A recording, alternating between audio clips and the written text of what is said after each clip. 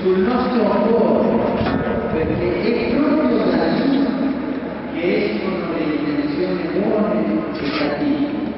Custodire la gente e aver cura di ogni persona. Questo il primo forte messaggio di Papa Francesco nel giorno di inizio pontificato. Ma soprattutto davanti alle 160 delegazioni straniere chiede di non lasciare che segni di distruzione e morte accompagnino il cammino del nostro mondo. Custodire è la parola chiave di questa omelia, ma il primo pensiero è per Ratzinger che segue l'evento da Castel Gandolfo nel giorno del suo nomastico.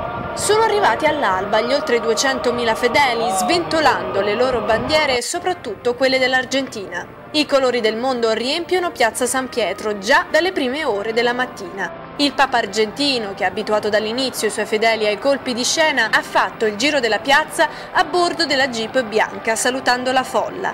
Tutto è perfetto e l'organizzazione efficiente. Intorno al Vaticano la zona è blindata e bloccata. Sacerdoti, vescovi, suore e cardinali hanno fatto il loro ingresso solenne scandito dal coro della Sistina e dell'Accademia. Papa Bergoglio con la sua talare bianca e l'anello del pescatore in argento appare come l'emblema della semplicità. Un lungo applauso accoglie la benedizione finale di Papa Francesco. Dopo il raccoglimento e la preghiera, da piazza San Pietro si innalzano urla di giubilo per il Papa che ha già segnato la storia della Chiesa.